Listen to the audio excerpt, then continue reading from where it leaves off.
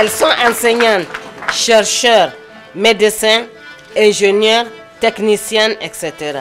Elles incarnent aujourd'hui des modèles de réussite et je tiens à les remercier très sincèrement pour avoir accepté de venir partager leur expérience et leur parcours exceptionnel dans le domaine des sciences. Aujourd'hui, trois femmes nigériennes dans la recherche, enseignantes-chercheurs, extraordinaires vont recevoir des prix.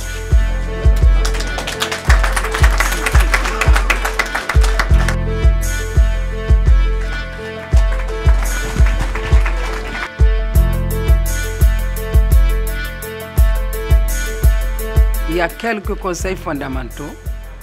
Avoir d'abord au début de l'ambition d'étudier dans les sciences. Avoir la volonté, la ferme volonté d'étudier dans les sciences, d'être courageuse, de persévérer.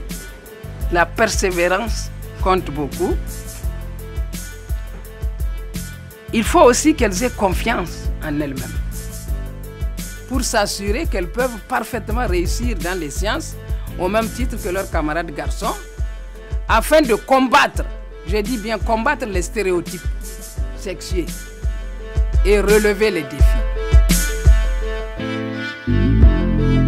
L'autre atout que vous avez, c'est la capacité à faire plusieurs choses en même temps. Une petite euh, anecdote. La plupart des hommes, quand vous leur parlez, ils arrêtent tout ce qu'ils font pour vous écouter. Parce qu'ils ne peuvent pas, par exemple, écrire et écouter. Ça, les femmes savent le faire. J'ai été euh, admirative euh, devant la technologie et le progrès quand en 1989, j'ai pu faire une thèse, ma thèse de doctorat de médecine sur les maladies euh, cardiopathies congénitales, les cardiopathies euh, avec les, lesquelles les enfants naissent, et où on avait pu, avec le professeur Touré Ibrahim, on avait pu euh, diagnostiquer ici, détecter des dizaines de cas et pouvoir, dizaines de cas, pourquoi ça a été possible? Parce que c'était l'avènement de l'échocardiographie.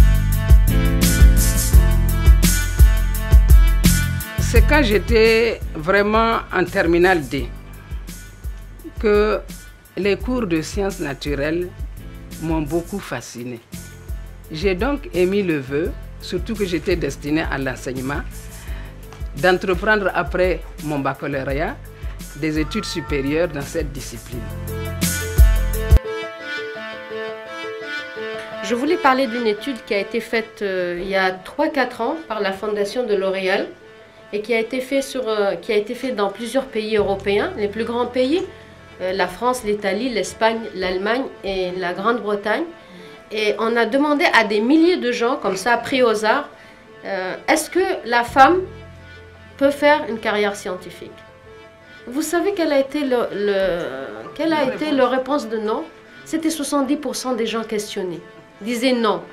Et quand on leur posait la question pourquoi, c'est 70% des gens, il y avait 69% de personnes qui disaient que nous pensons parce que la femme, elle est moins intelligente que l'homme. Que son cerveau, que son cerveau est plus petit que l'homme. Toutes les classes que j'ai faites, c'était toujours une fille qui était la première de la classe. À tel point que moi, j'ai toujours cru et pensé, jusqu'à aujourd'hui, que les femmes sont plus intelligentes que les hommes. J'ai toujours, j'ai toujours vécu ça, vraiment. Moi, ma plus grande euh, motivation, c'est les résultats.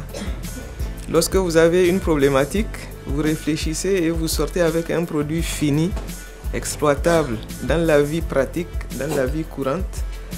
Je pense qu'il n'y a rien de, plus motivant que cela. Je voulais vous dire que tous les propos que vous avez tenus ici, on entend la même chose quand on se déplace dans le monde entier et qu'on parle du thème euh, femmes et scientifiques. Tous les problèmes que, vous vivez ici au Niger, on les vit aussi effectivement, comme il a été dit, en Europe et en Asie et, et dans le monde entier. À notre temps, nous, on n'a pas eu la chance d'assister à ces genres de panels. Je me rappelle encore lorsqu'on faisait nos sessions d'orientation, on nous demandait qu'est-ce que tu veux être quand on était en D. La plupart, on avait plus l'option de faire la médecine. Mais à travers ce panel, j'ai découvert qu'il y avait plein de choses qu'on pouvait faire. Et que si moi, par exemple, j'avais eu toutes ces informations que ces jeunes lycéennes ont eues aujourd'hui, peut-être qu'on aurait un peu varié pour qu'il y ait plus de diversité au niveau des filières. Si une fille part étudier à l'extérieur, en filière scientifique, et qu'elle revienne, elle ne sera pas considérée. Alors toutes ces années perdues pour construire son avenir s'écroulent.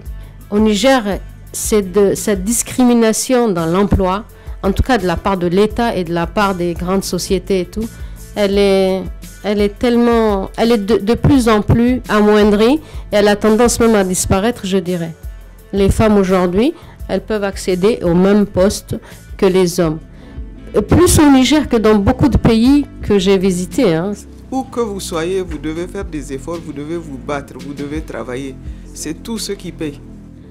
Des femmes nigériennes travaillent dans les meilleures universités et laboratoires au monde et se sont fait remarquer même dans ce milieu, les élever à l'élite mondiale. Car ces femmes, elles sont nigériennes, peut-être le dernier pays du monde, mais elles font partie de cette classe de la population, de cette classe d'élite mondiale. Il faut se battre pour pouvoir nous imposer. Nous pouvons être comme eux ou, même plus qu'eux. Ah, il faut, il faut, il faut prouver.